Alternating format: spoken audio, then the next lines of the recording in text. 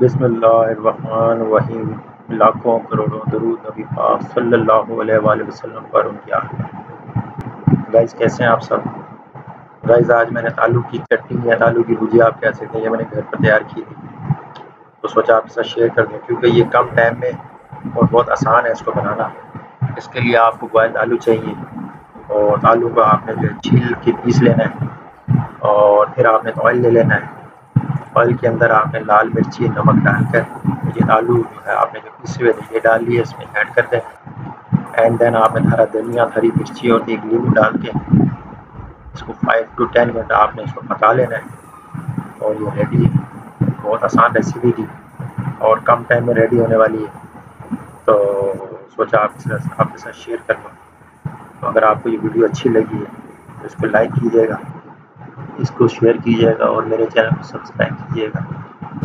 Thanks for watching अपना बहुत ख्याल रखें। अल्लाह हाफिज़।